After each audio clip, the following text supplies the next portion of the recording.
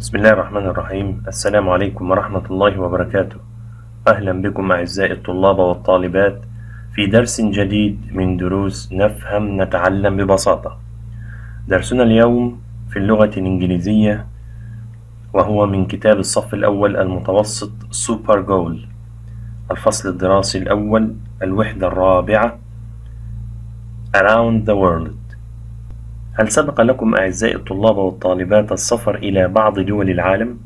هل سبق لكم التحدث مع شخصيات أجنبية؟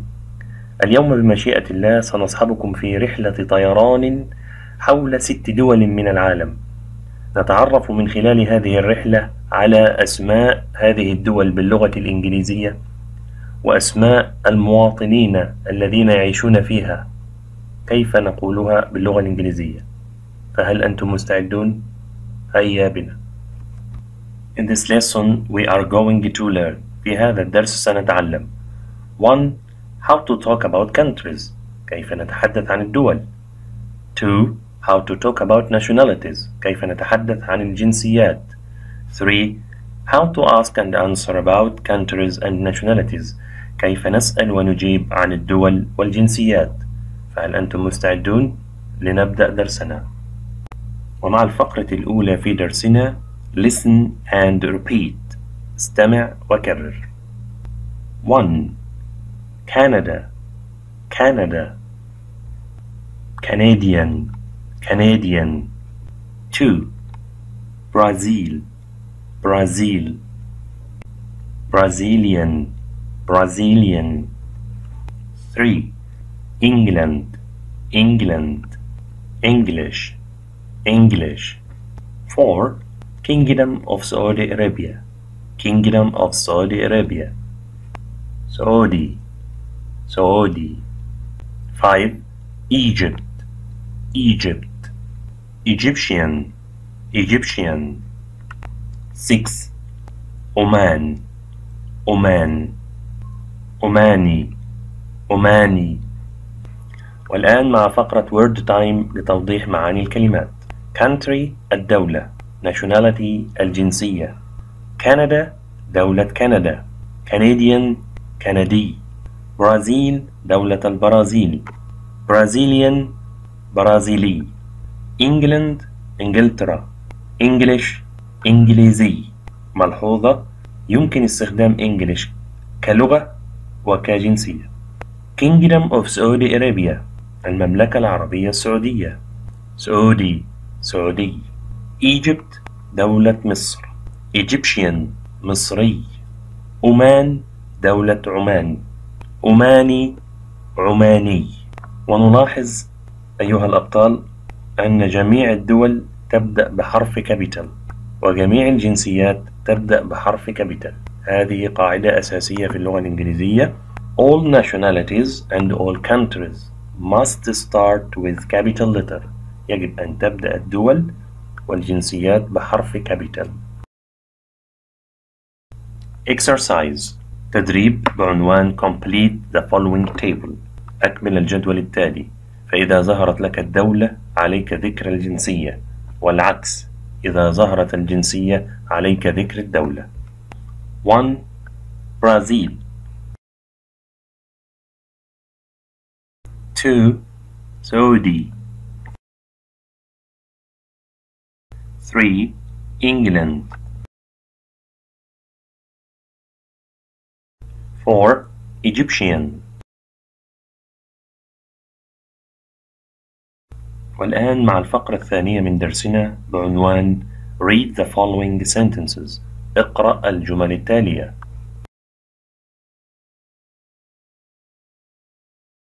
This is Alex.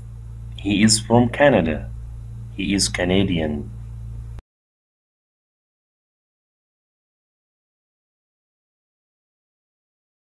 This is Bill. He is from England. He is English. والآن حاول أن تقرأ العبارات عن فيصل.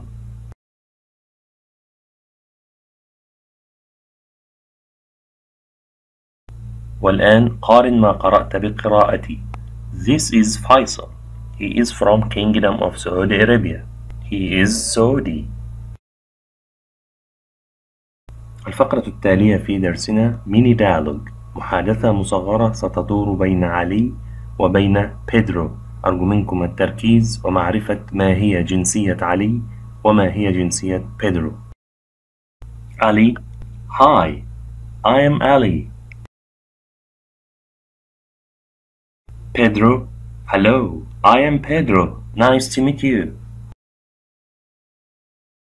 Ali Nice to meet you too. I'm from Egypt. And you? Pedro I am from Brazil. والآن من عرف جنسية علي وبيدرو؟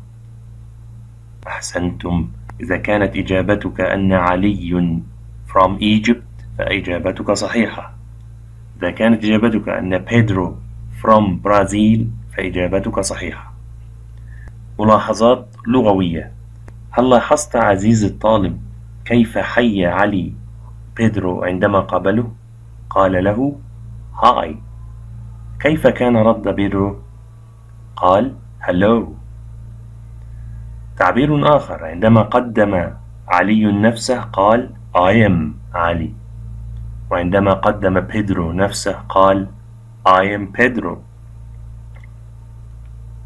عندما حي علي أيضا بيدرو قال له سعيد بلقائك. Nice to meet you. Nice to meet you. تعبير جميل يمكن أن نستخدمه في حياتنا اليومية عند مقابلة أشخاص جدد. Nice to meet you. فيرد الطرف الآخر ويقول Nice to meet you too. فإذا حياك أحد وقال لك Nice to meet you. تقول له Nice to meet you too. وها نحن الآن قد وصلنا إلى الجزء الأخير من درسنا وهو Grammar قاعدة لغوية بعنوان Verb to be. Verb to be في اللغة الإنجليزية فعل يكون أكون نكون تكون وهكذا. فهيا نرى كيف سيكون شكل verb to be في زمن المضارع إثباتا ونفيا. من أشكال verb to be في المضارع am is and are يمكن أن تختصر am إلى apostrophe m ويمكن أن تختصر is إلى apostrophe s ويمكن أن تختصر r إلى apostrophe re أما verb to be في النفي فيكون أيضا على ثلاثة أشكال. Am not. Isn't. And aren't. وكما شاهدنا في الأمثلة السابقة أن am تأتي دائما مع الفاعل I مثلما قال I am أحمد I am Pedro. Is أو isn't تأتي مع الفاعل he she it. Are أو aren't تأتي مع الفاعل we they and you. والآن نستطلع المزيد من الأمثلة على verb to be. More examples. نايف يتحدث عن نفسه في هذا المثال قائلا I am نايف I am Saudi. I am not Canadian لاحظ I am I am not وإلى هواة أفلام الأكشن والكونغ نذكر هذا المثال فنتحدث عن جاكي ولي قائلين They are Jackie and Lee They are Chinese They aren't English لاحظ They are and they aren't ملحوظة هامة أذكركم بها أحبائي أن nationalities are always singular الجنسيات دائما مفرد في اللغة الإنجليزية أي لا يضاف لها اس في نهايتها. مثال they are Saudi. فهذا صحيح ولكن من الخطأ أن نقول they are Saudis. وهنا تنتهي رحلتنا التي اصطحبناكم فيها اليوم أحبائي.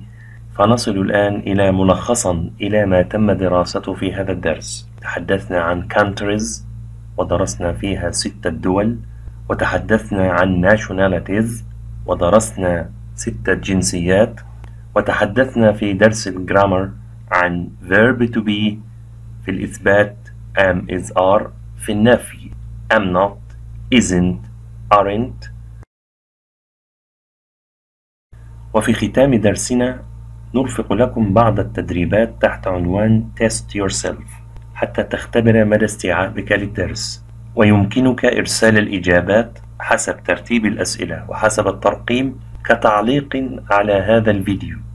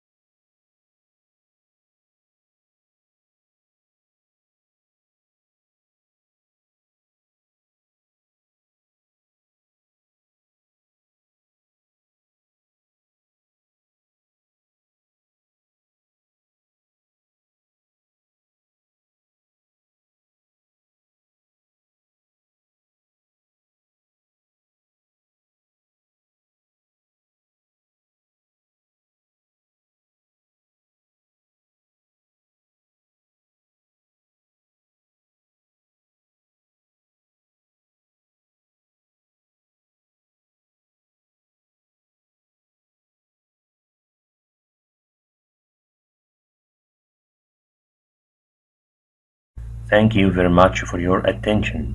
أشكركم جزيل الشكر على حسن انتباهكم وإنصاتكم للدرس. With my best wishes, Mr. إيهاب الجوادي.